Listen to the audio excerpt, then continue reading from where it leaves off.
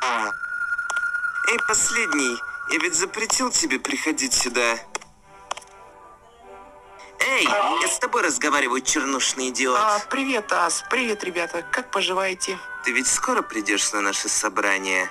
А, вообще-то я не думал, что я нужен тебе срочно. Алло, алло, есть кто дома?